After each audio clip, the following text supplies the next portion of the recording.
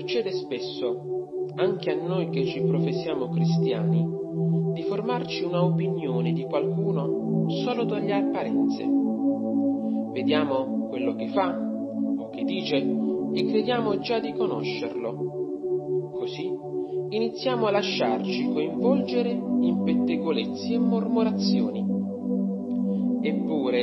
L'unico che conosce la verità intera su qualcuno è solo Dio, e per questo solo Lui può giudicare l'operato degli uomini. Noi no, e non dovremmo farlo mai.